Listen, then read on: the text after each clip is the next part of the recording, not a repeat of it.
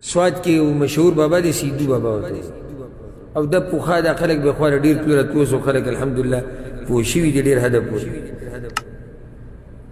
نو هغه کس قصه کوله چې د په دې قبر باندې له پاسه د د قیمتي لیټونه چې دا پیو هغه سوی دی ته فانوس او دغه دغه دغه لیټونه قیمتي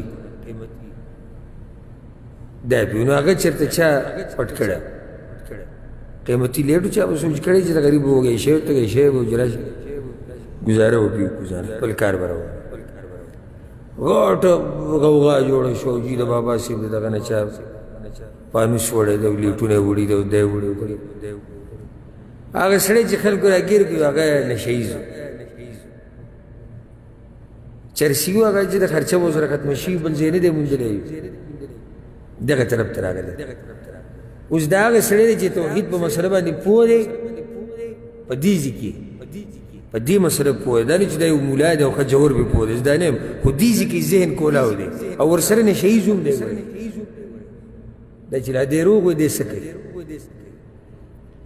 وسړی تانی تر وړې دی والي ټکولې دی تا څنګه شي وړې دی هغه یې معنی دی معنی دی تاسو سره څه ثبوت دی چې ما خیر خبره تری دی ګیو کولی نو عکس وته وی چې تانه کې چې ته څنګه داسې مضبوطه داوا کوي چې معنی دی وړې وی معنی دی وړې تاسو خدا وایي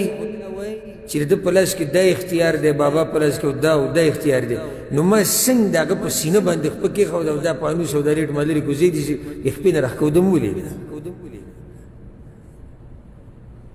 زه به یې راښکودی وې راګوزار کړی به یې نو څنګه په دې ځي یو سړی ودرېږي چې ودرېږي خو د هغه په سینه به ودرېږي نو دې چې دومره لرې لرې د خلکو د چا کشتۍ راوباسي د اوبو نه او د چا ډوډۍ چې تنور ته ولېږي هغه راوچتوي او د چا سکی سکی او دلته سړی په سینو ته ولاړ دی هغه له خپل راکوي یا کسان وایي چې درکې درکې دا چرسیز وي دا په رښتیا لیونی د موضوع بل طرف ته واړوله بل طرف ته یې نه راړولې حقیقت یې راښکاره کړو نو عمیم واحد په زرو مولیانو زور ورکېږي ولله الحمد